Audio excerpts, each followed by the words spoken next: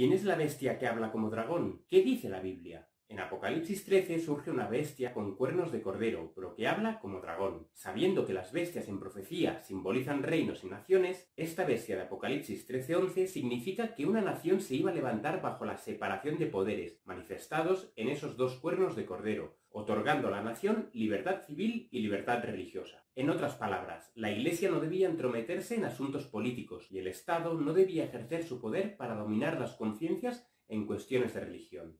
Los Estados Unidos nacieron bajo este principio. Sabiendo que dicha unión de poderes entre la Iglesia y el Estado es la que había llevado a Europa a vivir las más terribles y crueles persecuciones, la nación americana se levantó bajo la libertad de conciencia y de culto, sin que el Estado pudiera legislar sobre la religión y la religión legislar sobre el Estado. Sin embargo, se nos dice que esta bestia que se iba a levantar como cordero terminaría hablando como dragón, Hablar en política es promulgar leyes, y ser semejante a un cordero pero que habla como dragón es que dicha nación, Estados Unidos, renunciaría a sus principios, forzando finalmente, por ley, a doblegar las conciencias al inmiscuirse en asuntos religiosos y obligar a sus ciudadanos a acatar dichas leyes. Pronto los Estados Unidos renunciarán a la primera enmienda de la Constitución, la cual declara que el Congreso no podrá hacer ninguna ley con respecto al establecimiento de la religión, ni prohibiendo la libertad práctica de la misma. Así que esta nación, vulnerando su propia constitución y rechazando los principios de libertad con que se levantó, se volverá hostil, cruel y perseguidora contra todos aquellos que no obedezcan sus dogmas. Recuerda que la mayoría no siempre tienen la razón. Más contenido en laverdadilustrada.com.